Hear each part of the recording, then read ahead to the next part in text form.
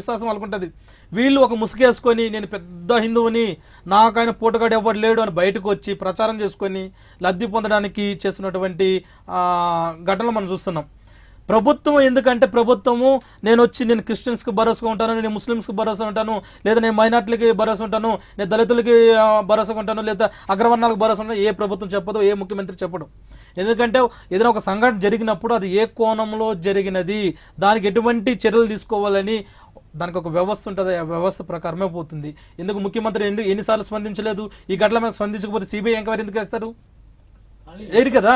ఇంత స్థా- స్థాయికి రాదు కదా? అంటే వాళ్ళ మనోభావాలు దెబ్బతింటున్నప్పుడు అంతర్వేది తర్వాత కూడా ఘటనలు జరుగుతుంటే బయట స్టేట్మెంట్ జరిగితే అయిపోతుంది కదా. ఇప్పుడు అంటే అంత అంటే అంటే అది జనాలకి ఎట్లా కనబడుతుంది అంటే అది అహంకారం లాగా కనబడుతుంది. ప్యాసిఫై చేయాల్సిన అవసరం ఉంది బాధ్యత ముఖ్యమంత్రి వరకు. వాళ్ళ మనోభావాలు దెబ్బతిన్నాయి కాబట్టి వాళ్ళని ప్యాసిఫై చేసి వాళ్ళని కూల్ చేయాల్సిన బాధ్యత ఉంది. ఒక ఒక ప్రెస్ ప్రెస్ మీట్ పెడితే లేకపోతే ఒక అడ్రస్ చేసి అయిపోయేది ఈ పాటి. ఇప్పుడు మీరు అన్న దాంట్లో నేను ఏకీభవిస్తాను దానికి నేను అర్థం చేసుకోగలను. మేము ఎన్ని చెప్పినా ఒక వ్యక్తి నేను ఈ పని చేయాలి నేను ఇక్కడ అలజడి సృష్టించాలని పట్టుబట్టి కూర్చుంటే వాడిని ఎంతకాలం ఆపగలుగుతాం మనం?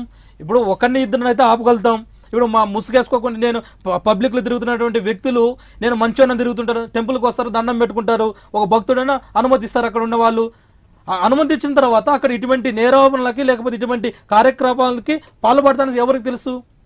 తెలియదు కదా? ప్రతిదానికి ఇప్పుడు అక్కడ వాళ్ళకి ఏంటంటే సగటు మానవుడికి లేదా సగటు పౌరుడికి ఏదైనా తప్పు చేస్తే మనం ఏమేమైపోతామో మన రా మన భవిష్యత్తు ఏమైపోతుందో ఒక భయం ఉంటుంది ఆందోళన ఉంటుంది. కాబట్టి వాళ్ళు ఎవ్వరు కూడా అటువంటి కార్యక్రమానికి పాల్పడరు. భరోసా ఉంటుంది నువ్వు జైలుకి పో నేను విడిపించుకొచ్చేదానికి నేను ఉన్నా అని కొంతమంది పెద్ద తల- పెద్ద మనుషులు ఉంటారు. వాళ్ళ యొక్క అండతోటి వాళ్ళ యొక్క ప్రోద్బలంతో వీళ్ళు ముందుకెళ్ళి ఇటువంటి దాడులు చేసినప్పుడు కొద్దిగా టైం పడుతుంది. ఒకసారి ఒక దొంగను పట్టుకున్న తర్వాత తర్వాత చూడండి వాళ్ళు బయటకు వస్తారా లేరా అని. ఇంత ముందుకు ప్రభుత్వంలో ఉన్నప్పుడు ఎటువంటి సంఘటనలు జరిగినాయి? ఇప్పుడే ఏ విధంగా జరుగుతున్నాయి? అప్పుడు ఎందుకు ప్రశాంతంగా ఉంది అంటే అక్కడ ప్రతిపక్ష నాయకుడు గట్టాడు కాబట్టి మంచోడు కాబట్టి ప్రశాంతంగా ఉంది ఇప్పుడు ఉన్న ప్రభుత్వంలో ఏముంది? ప్రతిపక్ష పార్టీలు ఇంకా అంతా ఆ చరిత్ర నేర చరిత్ర కలిగిన వారు కాబట్టి ఇక్కడ ఆందోళన జరుగుతున్నాయి. కాబట్టి ఇవన్నీ చూసి ఒకసారి ఆలోచిస్తారు ప్రజలు కూడా. సరే ఒకరు ఇద్దరు మాట్లాడొచ్చు. మా వాళ్ళకి తెలుసో తెలియకుండా వాళ్ళకి బాధ ఉండొచ్చు. మా హిందువుల పైన దాడులు జరుగుతున్నాయి స్పందించలేదు అనేసి. ఆ బాధ వాస్తవం ఉండొచ్చు కానీ ఆ బాధ కూడా తొందరలో తీరుతుంది. మీరు క్షుణ్ణంగా కాసేపు ఆలోచించుకొని ఇక్కడ ఏం జరగలేదు ఇది ఎందుకు జరిగింది ఏ విధంగా జరిగింది మనం ఒకసారి ఆలోచిస్తే దొంగలు పట్టుకుంటాం ఆ దొంగలకి ఖచ్చితంగా శిక్ష వే వేయిపిస్తాం మా ప్రభుత్వంతోనే. రాజశేఖర్ గారు హిందూ వ్యతిరేక విధానాలు అనేవి గత ప్రభుత్వ హయాంలో జరిగాయి ఇప్పుడు జరుగుతున్నాయి జరిగాయి కూడా మనం చూస్తూనే ఉన్నాము. బట్ ఇలాంటివి చేయడం వల్ల నిజంగానే ప్రజల దృష్టిలో హిందూ మనోభావాల హిందువుల మనోభావాలు దెబ్బతీసేలా ప్రయత్నాలు ఏమైనా జరుగుతున్నాయంటారా అంటే మనం జియోగ్రఫికల్గా చూసుకుంటే భారతదేశంలో దక్షిణ భారతదేశంలో హిందూ సెంటిమెంట్ అనేది అంత లేదు. ఉత్తర భారతదేశం అంటే ఎవరైతే మొఘల్ వాళ్ళ ఇన్వేజన్కి గురయ్యారో యుగ యుగాలుగా అంటే రైట్ ఫ్రమ్ సోమనాథ్ టెంపుల్ అంటే గోరి గజని ఆ టైం నుంచి ఉత్తరాదిలో దాడులు జరిగి ఆ దాడుల్ని ప్రత్యక్షంగా ఎదుర్కొన్నారు వాళ్ళు. హత్యలు కావించబడ్డారు మానభంగాలు చేశారు కాబట్టి ఆ సెంటిమెంట్ అనేది అక్కడ చాలా బలంగా ఉంటుంది. సో మన దగ్గర అటువంటి జరగలేదు. మన దగ్గర వచ్చింది ఫస్ట్ ఎంట్రీ సౌత్ ఇండియాలో బ్రిటిష్ వాళ్ళు వచ్చారు. బ్రిటిష్ వాళ్ళు వచ్చారు కానీ వాళ్ళు మనని అంటే యుద్ధాలు కానివ్వండి అలాంటివి డైరెక్ట్గా హింసించే మనోభావాలు దెబ్బతినేంత స్థాయిలో చేయలేదు. కాకపోతే అక్కడ ముస్లిం హిందూ డివైడ్ అనేది నార్త్లో ఎక్కువ ఉండడం కారణం ఏంటంటే వాళ్ళు ప్రత్యక్షంగా అనుభవించారు వాళ్ళు. తరతరాలుగా యుగ యుగాలుగా వాళ్ళు దాన్ని ఫేస్ చేశారు కాబట్టి ఆ సెంటిమెంట్ అనేది ఎక్కువ ఉంటుంది. మన దగ్గర సౌత్ ఇండియాలో ఉండకపోవడం కారణం అది. సో ఇక్కడ బీజేపీ హిందూ కార్డు తీసుకుంటే విఫలం అవడానికి కూడా మెయిన్ కారణం అదే అనమాట సో సౌత్ ఇండియాలో బీజేపీ హిందూ కార్డు అనేది ఎక్కువ పనిచేయకపోవడం కూడా మెయిన్ కారణం అదే. రైట్ గజేంద్ర గారు ఏ ఘటన జరిగినా కూడా కేవలం మొక్కుబడిగా చేశాము లేకపోతే చేస్తున్నాము? ఈ ఘటన జరిగినప్పుడు మేము చర్యలు తీసుకుంటున్నాము ఎంక్వైరీ చేస్తున్నాము అన్నీ జరుగుతున్నాయని అంటున్నారు కానీ లేదంటే దానంతటా అదే జరిగిపోయిందనేటువంటి కబుర్లు చెప్తున్నారే తప్ప నిజంగా ఎంక్వైరీ చేయడం కానీ వాళ్ళని పట్టుకునేవడం కానీ అలాంటివి ఏమైనా వాటికి చెక్ పెట్టే ప్రయత్నాలు ఏమైనా చేస్తున్నారా? ఇప్పుడు అది మేము ఆ ఘటనకి సంబంధించి సిబిఐ ఎంక్వైరీ ఏ ఉంటే రాష్ట్ర ప్రభుత్వం ఆధ్వర్యంలో అది మేము పట్టుకొని లేదా మేము దాని మీద చర్యలు అనేది మీరు మమ్మల్ని ప్రశ్నిస్తే. వరుసగా జరుగుతున్న ఘటనల మీద ఎందుకు అంత తొందరగా స్పందించట్లేదు? నిన్న ఈవో వచ్చి మాట్లాడారు కానీ దానిపైన ఎందుకు అంత తొందరగా స్పందించట్లేదు? ఓకే అదైతే సిబిఐ ఎంక్వైరీ చేశారు ఓకే అది ఓకే. మరి మిగతా వాటి సంగతి ఏంటని అంటున్నారు? మిగతా వాటి కూడా ఇప్పుడు మీ ఆ రోజు సిబిఐ ఎంక్వైరీ చేసినాం మళ్ళీ జరుగుతున్న ఘటనలు వాటి మీద కూడా చర్యలు ఉంటాయి. ఎందుకంటే దానికి సంబంధిత అధికారులు కానీ దానికి సంబంధించిన మంత్రులు కానీ దానికి సంబంధించినటువంటి అధికారులు కానీ స్పందిస్తుంటారు. ఈ- దాని యొక్క దీని గురించి వివరణిస్తుంటారు. స్పందించక లేదు అనడము మనం చూసే దృష్టిలో ఉంటుంది మనం ఆలోచించే విధానంలో ఉంటుంది.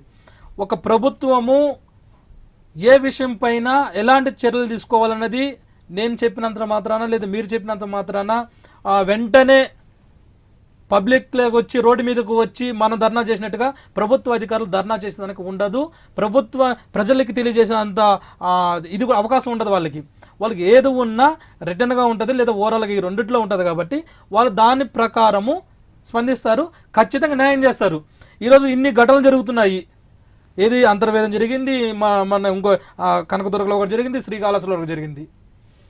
వీటన్నిటికి నేను మళ్ళీ మళ్ళీ చెప్తున్నా ప్రతిపక్షాలు మీకు అంత దమ్ము ధైర్యము మీకు పేద ప్రజల మీద లేదా హిందువుల మీద లేదా ఈ రాష్ట్రంలో ఉన్నటువంటి అంద ప్రజల మీద మీకు అంత ప్రేమ ఉంటే పేద ప్రజానికానికి ఎటువంటి సంక్షేమ పథకాలు అందాలి వాళ్ళ అభివృద్ధి పథంలో ఏ విధంగా తీసుకురావాలి వాటి మీద ధర్నాలు చేయండి వాటి మీద రాస్తారోకలు చేయండి వాటి మీద ప్రభుత్వం మీద ఒత్తిడి తీసుకురావండి దానికి పార్టీ సిద్ధంగా ఉంటుంది. ఈ దిక్కుమాల చర్యలు ఎన్ని రోజులు చేసుకుంటారు? కొన్ని రోజులు మాత్రం బాగా బాగానే ఉంటాయి. ఈ రోజు బాగుంటది రేపు బాగుంటది. ప్రతిరోజు ఆ వ్యవస్థ నడవడానికి బాగుండదు. మళ్ళీ చెప్తున్న దేవుడి పేరు చెప్పుకొని పబ్బం గడపాలంటే మీరే పతనం అవడానికి కారణం మీ- గోతి మీరే తోకున్నట్టుగా అవుతుంది. రైట్ విష్ణు గారు సో చలో అంతర్వేది అమలాపురంకి పిలుపునిచ్చారు. ఓకే నిరసన కార్యక్రమాలు అనేవి జరుగుతున్నాయి. ఎక్కడికక్కడ అరెస్టులు గృహ నిర్బంధాలు కూడా జరుగుతూనే ఉన్నాయి. సో ప్రజల్లోకి ఇంకా ఏ విధంగా వెళ్తున్నారు ఫర్దర్గా అంటే చివరిగా చెప్పండి దీని గురించి. ఎవరండి దిక్కుమాలలో మీరు దిక్కుమాలలో హిందువులు దిక్కుమాలలో కాదు. మీకు ప్రేమ ఉందంటారు హిందువుల మీద ఏం ప్రేమ ఉంది మీ ప్రభుత్వానికి. ఈ రాష్ట్రంలో మెజార్టీ ప్రజలు ఎవరు? హిందువులు కాదా? ఈ రాష్ట్రంలో క్రైస్తవులు ఎంతమంది ఉన్నారు ఈ రాష్ట్రంలో ముస్లింలు ఎంతమంది ఉన్నారు ఈ రాష్ట్రంలో హిందువులు నేను ఎంతమంది ఉన్నారు? ఇంతసేపు మాట్లాడుతున్నా ఒక కులం పేరు కూడా తీలా ఒక మతం పేరు కూడా తీలా నేను ఒక? కులం పేరు తీయకుండా మాట్లాడతాను ఒక మతం పేరు తీయకుండా మాట్లాడతాను? మీరు మాట్లాడే దమ్ము ధైర్యం మీకు ఉందంటూ ఇస్తున్నారు? అడుగుతున్నా? మీరు ఎంతసేపు అయినా నోరు? తెరిస్తే నోట్ల నుంచి వచ్చి జనాభా ముందు మాట తర్వాత హిందూ మతం హిందూ మతం హిందూ మతం ఈ మతం లేకపోతే మీరు బతకలేరు మీ పార్టీ నడవలేదు ఏం మాట్లాడుతున్నారు. ఎందుకంటే మీ ప్రభుత్వంలో పూర్తిగా అంతా అసమానత్వమే. ఏమీ సమానత్వం లేదు. మీ ప్రభుత్వంలో హిందువులు అంటరాని వాళ్ళ పరిస్థితి దాపురించింది. రోజుకు రోజుకు జరుగుతున్నటువంటి విషయాలు గమనిస్తా ఉంటే మీ మాటలను బట్టే తెలుస్తుంది అండి. దిక్కుమాలిన దిక్కుమాలని పదిసార్లు పడతారు. ఎవరండి దిక్కుమాలలో ఈ లేకపోతే అంతర్వేది లక్ష్మీ నరసింహస్వామి భక్తులు దిక్కుమాల ఏం మాట్లాడుతున్నారు మీరు? సభ్య సమాజం తలదించుకుంటుంది సార్ అలా మాట్లాడితే హిందువులను గౌరవించండి. మీకు ఓట్లు వేసి మిమ్మల్ని ఎక్కువ అత్యధికమైన సీట్లు ఇచ్చి ఈ రోజు అధికారంలో తీసుకొచ్చి కూర్చోబెట్టినారు. వాళ్ళు తప్పడటం లేదు మిమ్మల్ని. రక్షణ కల్పించండి అంటున్నారు. ఏం ఏం తప్పడిగారు? కరెక్ట్గా ఏదైనా ఇన్సిడెంట్ జరిగిన టైంలోనే ఆలయంలో సీసీటీవీ ఫుటేజ్లు పని పనిచేయవు తూతూ మంత్రంగా విచారణ చేస్తారు. ఎవరో ఇద్దరు సంబంధం లేనటువంటి అటెండర్లను లేకపోతే సెక్యూరిటీ గార్డులను సస్పెండ్ చేస్తారు. అది కాదు. ఇన్ని. సంఘటనలు జరుగుతున్నాయి వరుసగా.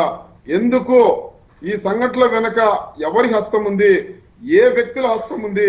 ఏ శక్తులు దీన్ని ముందుకు నడుపుతున్నాయని పైన విచారణ చేసి వెంటనే హిందూ సమాజం ముందు ఆ దోషులను నిలబెట్టాలని భారతీయ జనతా పార్టీ డిమాండ్ చేస్తా ఉంది. రైట్ అండి. చర్చలో పాల్గొన్నందుకు విష్ణువర్ధన్ గారికి అలాగే రాజశేఖర్ గారికి గజేంద్ర గారికి థ్యాంక్ యూ అండి. ఇది వాళ్ళ డివారెల్ డిబేట్. మరో కొంచెంతో మళ్ళీ కలుద్దాం.